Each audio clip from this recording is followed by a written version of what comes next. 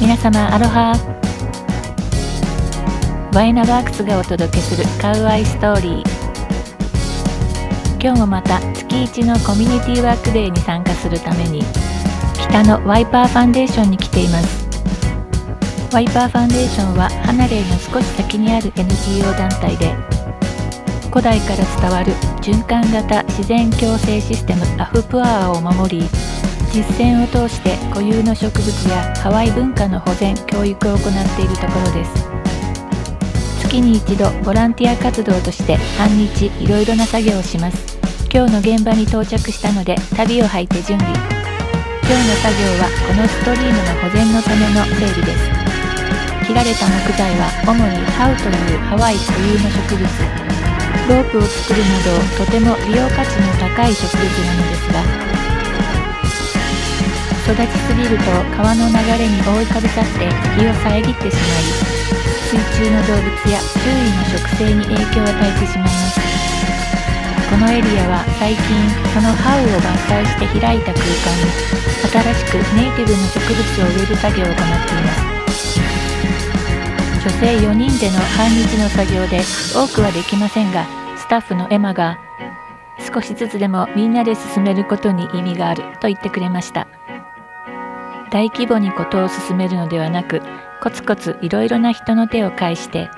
進めていく方法がよりハワイらしいやり方なんだと改めて思います。黄色い可愛い花を咲かせていたのはコーコーラウという固有種で葉や花は浄化の効果が高い薬草なのだそうです。この流れにはやはりハワイ固有のオープというハゼの仲間が生息していてこの日も気持ちよさそうに泳いでいるのが見えました。2年ほど前の大雨で増水した時に市は全て洗い流されたので水質や周囲の環境が整ってきたら植物も魚たちにも嬉しいですね。作業が終わってから何年か前に同じように切り開いたエリアを見に行ってみました。パンの木ブルが大きく育っていて感激です。今日の作業の結果もまた数年後に来てみるのが楽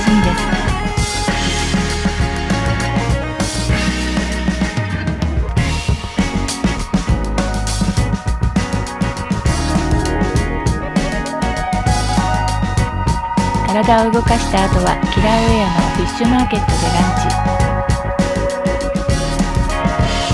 ポケのプレートと海藻サラダは定番です。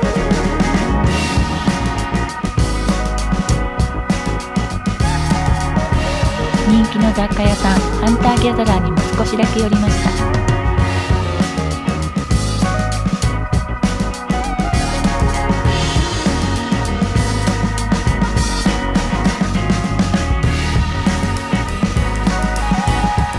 ペルー産のパロサントのオイルでリラックスします。今日もご覧くださってありがとうございます。また次の動画でお会いしましょう。アロハ。